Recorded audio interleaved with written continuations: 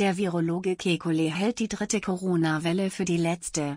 Der Wissenschaftler sagte MDR aktuell, bis zur theoretisch vierten Welle im Herbst habe man die Sache im Griff.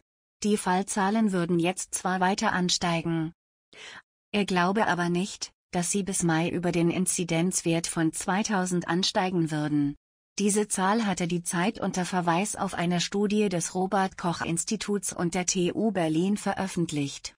Kekulé ist der Ansicht, dass es weniger Corona-Tote geben wird als in den Wellen zuvor.